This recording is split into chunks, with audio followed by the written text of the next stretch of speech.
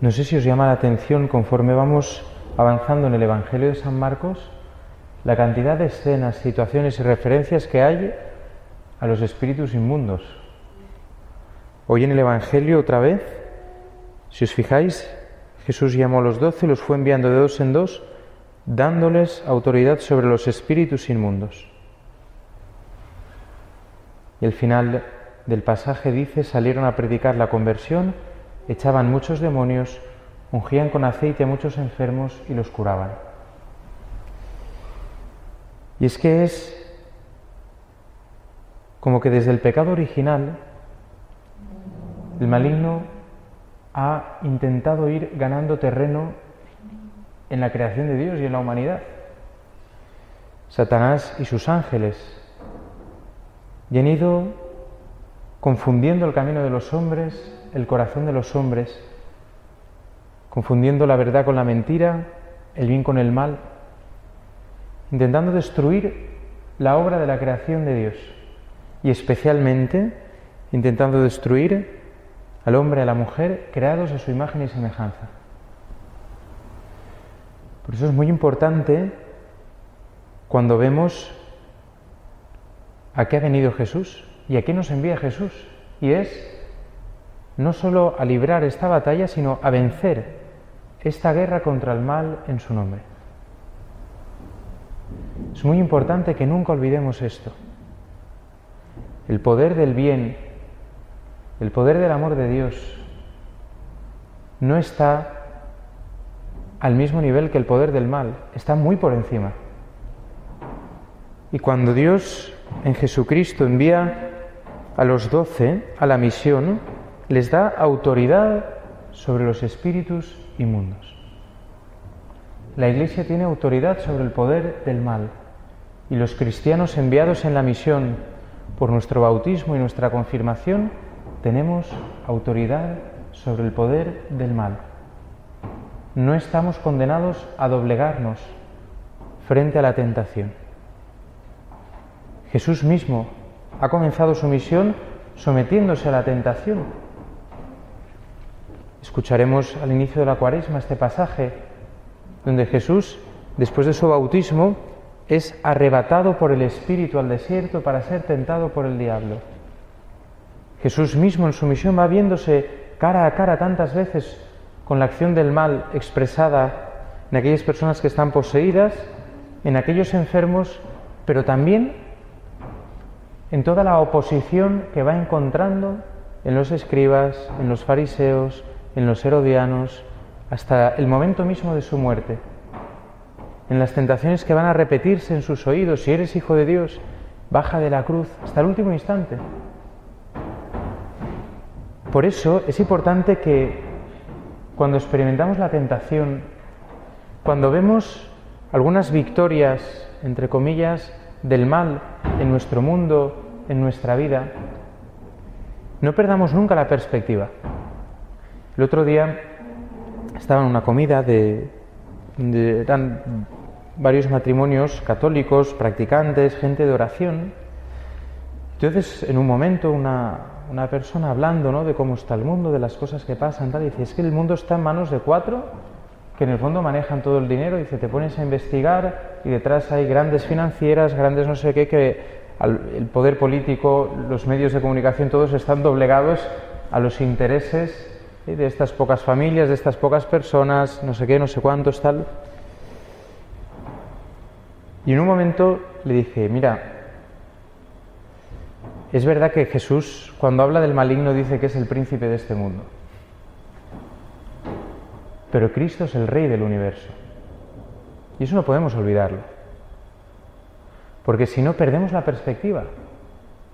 Claro, y le dije además, los enemigos del ser humano, los enemigos de los hombres, no son estas personas que utilizan su influencia, su poder para ejercer el mal, para transformar la verdad en mentira, para inculcar en las mentes y en los corazones la falsedad, los valores y las ideas y los pensamientos y las actuaciones contrarios a la voluntad de Dios, etcétera. Digo, estos hombres son hijos de Dios, hijos amados de Dios, que Dios quiere que se salven, que Dios quiere que se conviertan, Esos no son nuestros enemigos, nosotros no luchamos contra esos. ¿Eh? Porque yo le preguntaba, ¿y qué hay detrás de esto? Y me decía, pues no sé qué. ¿Y qué hay detrás de eso? Pues la masonería. ¿Y qué hay detrás de eso? Pues no sé cuántos. ¿Y qué hay detrás de eso? Y le decía, sí, sí, pero, ¿y qué hay detrás? El llamado diablo y Satanás, el seductor del mundo entero, el padre de la mentira, el enemigo de Dios. Dice San Pablo que nuestra lucha no es contra hombres de carne y hueso, sino contra los espíritus del mal que viven en el aire. Nuestra guerra es una guerra espiritual. Lo digo otra vez, es importante que no perdamos la perspectiva. ¿Y cómo podemos no perder la perspectiva? Pues viviendo lo que el Señor Jesús nos ha mandado, orar constantemente. No perdemos la perspectiva si estamos conectados a la oración con el Padre, el Hijo y el Espíritu Santo, si estamos constantemente invocando la intercesión de los santos, aquellos que en su vida personal ya han vencido, si estamos constantemente a la escucha de la palabra de Dios, que nos enseña a interpretar nuestra realidad, que nos interpreta, que nos ayuda y nos enseña y nos capacita para poder darnos cuenta que detrás de cada acontecimiento está la mano providente de Dios que nos conduce hasta de aquellos que nos pueden parecer más complicados o más aberrantes, que no hay nada que se escape de la mirada de Dios. Nos ayuda a descubrir que nuestra historia es una historia de salvación y nos ayuda a no perder la esperanza frente a las fuerzas del mal, sino a vivir confiados en el amor y en el poder de Dios. Esta es la experiencia de la fe. Y no solo también a vivir a la defensiva, ¿eh? porque podemos pensar ¿no? que en esta lucha contra el mal, que a veces cuando oímos hablar, decimos, nos da tanto miedo, podemos pensar, eh, pues eso, ¿no? Voy a protegerme, voy a ocultarme, voy a montarme un búnker, ¿no? me voy a meter en la iglesia y así no me pasará nada. O voy a protegerme con oraciones de protección, voy a llevar el escapulario, el rosario, eh, la medida del pilar, la cruz de San Benito, todo para que no me pase nada. No, no se trata de esto. El que debería tener miedo de nosotros es el maligno. No porque nosotros seamos muy chulos o muy valientes, sino porque el mismo espíritu que habitaba en Cristo, el mismo espíritu que recibieron estos doce, con el que fueron enviados, este mismo espíritu es el espíritu que habita en ti y en mí. Porque cuando nosotros vamos, ¿eh? hemos escuchado hoy la muerte del rey David, recordad cómo empezó el rey David contra Goliat. ¿eh? Y le decía a Goliat, tú vienes a mí con espada, lanza y jabalina, pero yo voy a ti en nombre del Señor de los ejércitos, Dios de las huestes de Israel, a quien tú has insultado.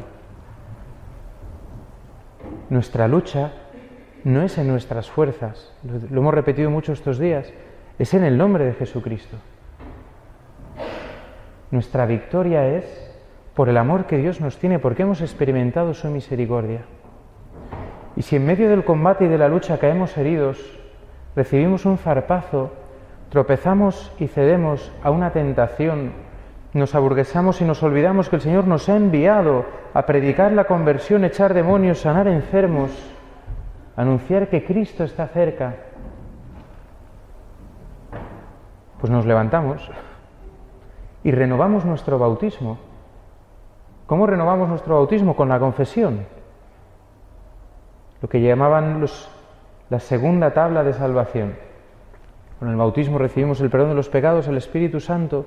Si no hemos podido o no hemos vivido conforme a lo que somos hijos de Dios, nos acercamos como pobres al Señor, como aquel hijo ¿eh? que despilfarró su herencia y vuelve, Padre, he pecado contra el cielo y contra ti. Para que el Señor nos cubra de besos, nos devuelva la dignidad, nos revista de nuestra dignidad, celebre fiesta y podamos volver a vivir en su casa, es decir, en su corazón.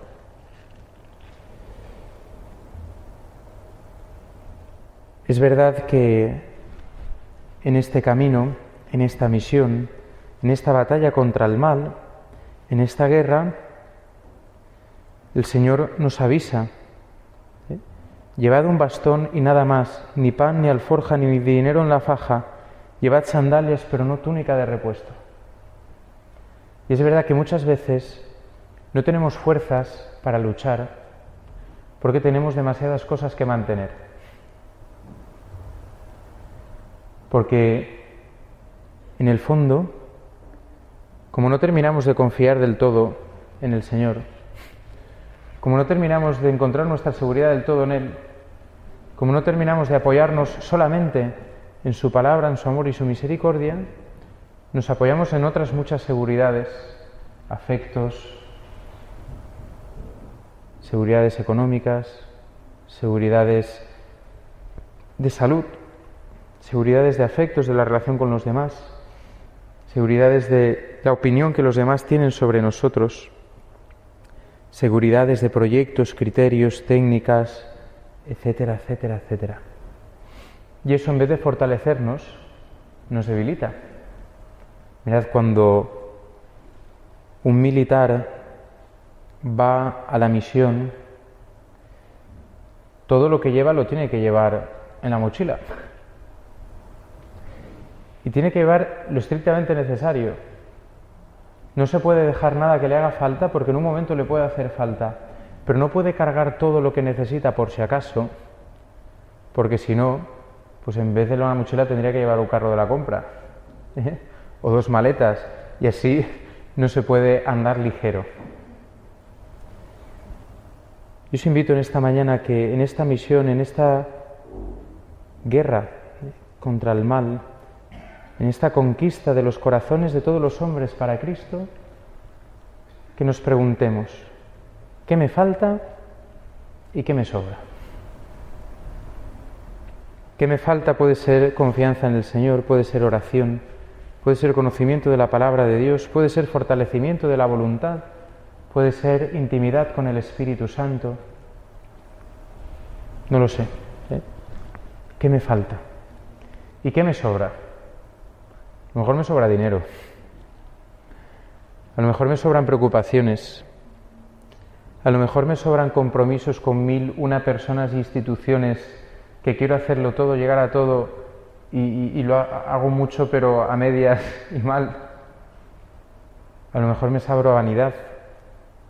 A lo mejor me sobra ropa en el armario. A lo mejor me sobran propiedades y casas y no soy libre para poder anunciar el Evangelio donde el Señor me envíe. A lo mejor me sobra el miedo de quedar mal delante de otros.